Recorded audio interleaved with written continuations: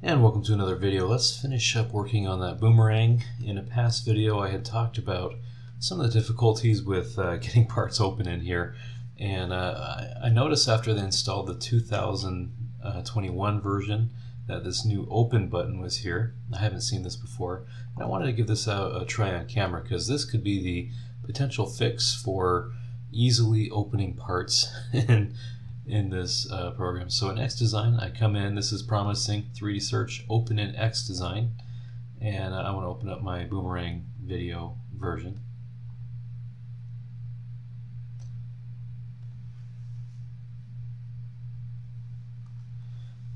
And uh, we come to this screen. Maybe if I click the play button here. Okay, so this is opened up and it looks like we're in a viewer of some kind, but we're unable to edit the part. I really thought this was going to open in XDesign. Uh, relations, options.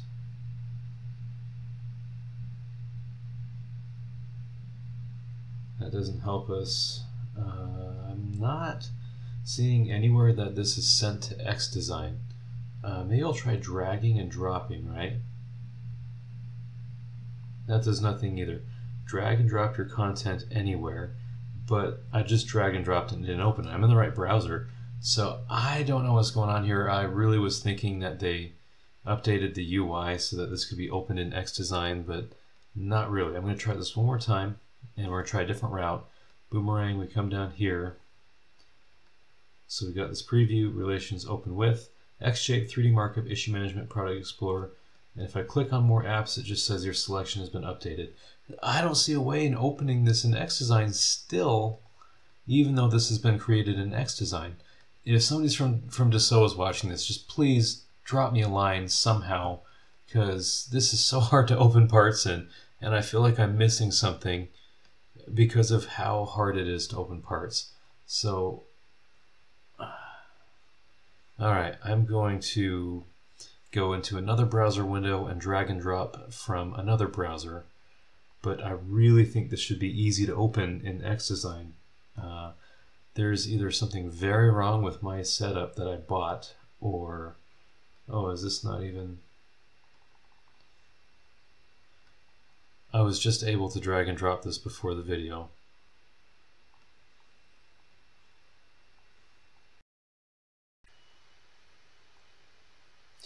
Alright, so I, I had to refresh the page and then all of a sudden drag and drop from another browser window has worked. That seems to be the only way that I know how to do this. There has to be an easier way. I haven't found it. Getting parts open in this thing is really difficult. Uh, but here we are, and uh, this is just sort of a lofted out boomerang missing the tips. I wanted to go through um, the, the lofting side of this. I hope this isn't going to be too lengthy of a video. It might be. So I'm going to just delete the uh, extra lofting surface, and my mouse is frozen in this area. I'm not sure what's causing that. Both my mouse and my trackpad are not working all of a sudden. Wow, my, my mouse is totally frozen. Alright, well if you can still hear me, I'm going to do a control print screen reboot even if system entirely broken and we'll see if this video can be salvaged. And I've got everything booted back up again. Uh, I'll head back into my common space and see if drag and drop is going to work. There we go. So I'm going to go through the tree and let's just delete my loft here. And now, uh, so I've made these sketches and from the last video all I did was I edited every section and put a crossbar across the bottom and made sure that every sketch had the same amount of features. So from here, if we were to, uh, let's do a, a, solid loft on this, um, you'd go to features, solid loft, right? And then you select sections to loft between. So I would consistently choose about the same section of arc over here. There we go. Okay. I just have to make sure these arrows are pointed the right way.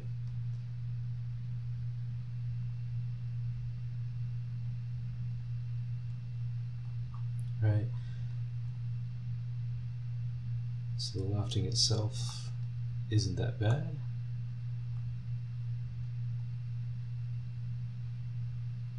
Um, that should be up here though because this bottom part transitions up. There we go. There. There. Okay, that's our boomerang now. One thing that I was very confused about is I have arc 1 as my first selection, of course, which is right down here. This arc 1 refers to the entire sketch, not just the arc individually. As you can see, the entire sketch is lofting. That is the same thing for control curves, right? I choose a guide curve, I choose this one sketch, and just says line 1 but it is uh, going to be following the entire sketch. Um, that's a little bit confusing, but it also eliminates our ability to choose sections or certain elements of sketches, right? So let's, and, and I'll get into that that difficulty that I'm seeing as well. So if I accept this loft, right, we get a nice little loft. Um, let's eliminate that loft. Uh, let's go with surfaces. And let's say I want to do a surface loft. And I have all these sketches, but I just want to loft out the top surface, right? Um, if I choose arc 1, arc 2, and get these, yeah, that's it. And I accept that, why? It gives me this bottom surface. Well, what if I just want to loft here, this edge, this edge, and this edge, but not carry the bottom feature. There's no way to really not select the bottom to be included if it's in the sketch, right? If it's not construction geometry, it's part of the loft. And that seems to be uh, all that X Design is capable of doing. So I originally, you know, surfaced this all the way through and and it, and it worked just fine. In fact, let me pull it up. Maybe I can show you. So you can see I did a surface loft here, but I omitted all of the horizontal crossbars that are either construction geometry or not there. And that's how I was able to loft it without the bottom on it.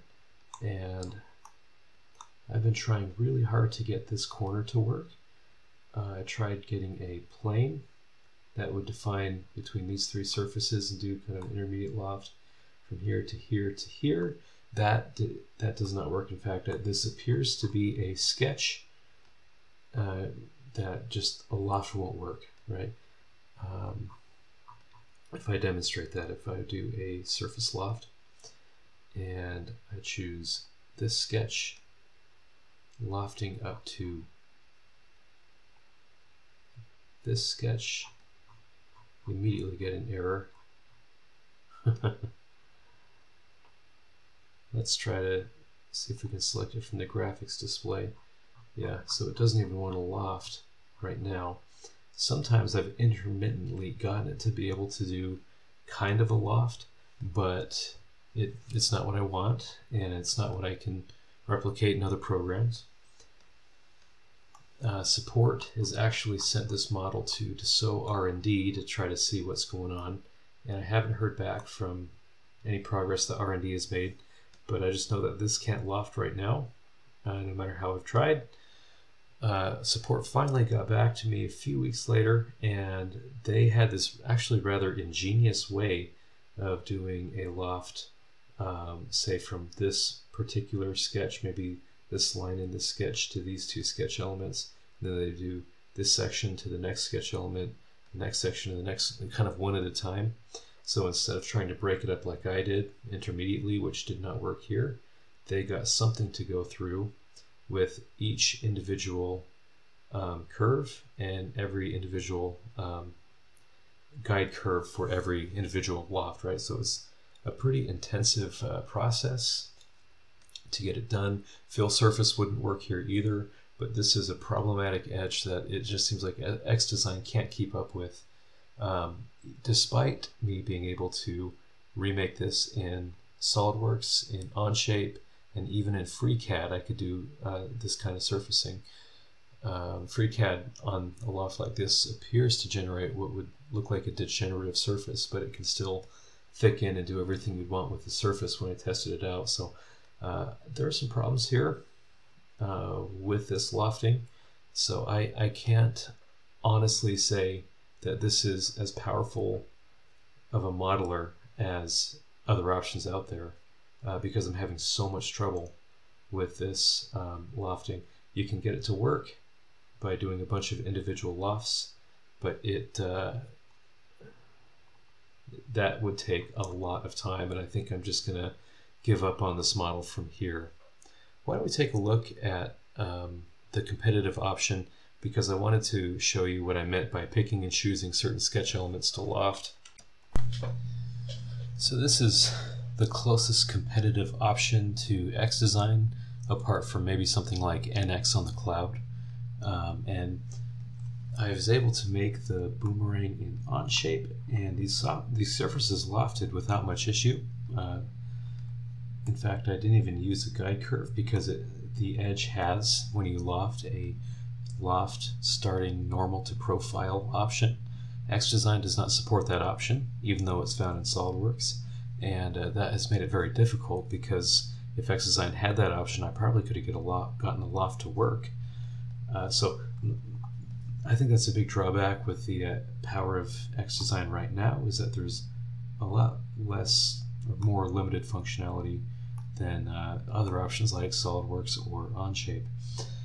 Uh, if I look at this loft that I've done and I just double click to edit in the tree, you can tell that um, I've made four selections uh, in each loft, right? It shouldn't come to surprise that here, here, here, and here just these four sections uh, going all the way up and down.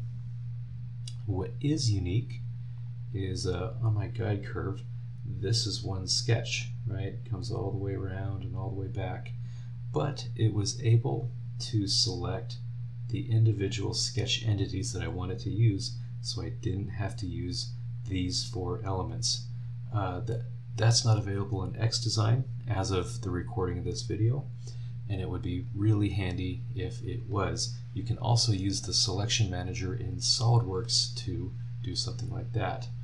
Uh, so it was a lot easier to make this in Onshape than it was in XDesign, and although it's possible to get this kind of uh, surface in XDesign, uh, it's just not worth it because uh, it's, it's so time consuming to try to loft individually uh, between individual elements to produce this one surface, each loft with its own guide curve, that I'm just kind of giving up on that, and uh, I've got this model elsewhere. Well, I might as well just explain the difference between uh, Onshape and XDesign that I'm seeing for lofting. The big thing is uh, if I were to click, uh, you know, a sketch element in XDesign, it selects the entire sketch. If I choose an element here, you can see we are just working with individual sketch elements. So it's a, it's a big difference in user interface.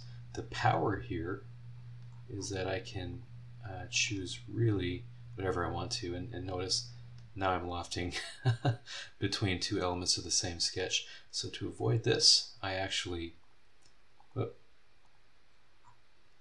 click here and then I click this little arrow and I can add elements just like that, right? So now we're saying that all of these things is just the one profile that we left from. And then I click out of that box, click another thing, and I click this arrow down, and now I'm building, as you can see, elements in my next loft section. Oh, but of course, I added these out of here. There we go. And there we have our loft. Uh, this is, you know, just a straight line loft. And I don't even need a guide curve for, guide curve for this because I have the start profile condition here where I say normal to profile. And you can adjust the magnitude quite easily, right? I can make that 2 and adjust the magnitude quite nicely. Now, um, I can say end profile condition normal to profile, tangent to profile, match tangent, match curvature, whatever. Um, So if I say normal to profile, right, that is a pretty healthy looking surface. And down here, where you would normally get a bunch of surface abnormalities, uh, we are handling this surface quite well. So I think this is a beautiful loft, especially compared to other platforms that might not process this quite as well. Um, and I don't need a guide curve to tell me to start or end normal to the profile because that's built in with this functionality. You also have this in SOLIDWORKS. In fact, SOLIDWORKS Loft has this in both solid and surface. SOLIDWORKS uh, Surface Loft has that as well. On top of that, Boundary has that option for every individual sketch profile, which is a huge advantage. So I was able to generate the surface without a, pro without a problem in Onshape. If we try the same thing in XDesign, uh, there, there's just a few different ways that this identifies the loft, right? First off, we'll go to Features, actually Surfaces, and I'll choose the Surface Loft here. Uh, interestingly enough, I can do this from features as well if I choose loft down here. This has, you know, additive, uh, reductive, or new. Creates a new uh, body all by itself. So they've kind of consolidated this from the SolidWorks uh, way of doing things where you have a surface tab and a features tab. and you can also, in one go, either do solid, thin, or surface. I see this as a huge improvement from the SolidWorks uh, interface this I, I feel is way more efficient way of doing things and it makes a lot of sense. It's also quite reminiscent of the way Onshape has uh, organized things as well. So if we do an additive surface and uh, if I select sections to loft between, right, I can select this little guy down here and we're actually selecting that entire sketch even though it doesn't look selected. Um, I come down here and try to select a sketch down here and we get an error, right? We have a cusp. Um, let's see if we can fix this. Maybe tangent. Um, if we go with ratio, there we go. So we've got something generated with the ratio uh, that is not looking like a realistic surface. In fact, if I, yeah, so that's not useful. Uh, it could be user error. Let's go back to coupling and try tangency or curvature. Maybe go back to vertices.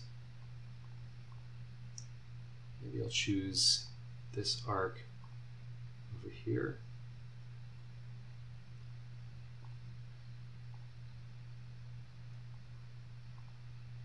If I add a spline curve here, that doesn't seem to help. Well, but you get the idea that uh, there's uh, some fundamental differences in the uh, way that you select things in XDesign versus other platforms like Onshape or SolidWorks. So those are some of the differences uh, between Design and some of the other options, as well as uh, just general lofting and surfacing in XDesign. Uh, I hope this video was helpful. If it was, please subscribe, and I'll see you in the next one.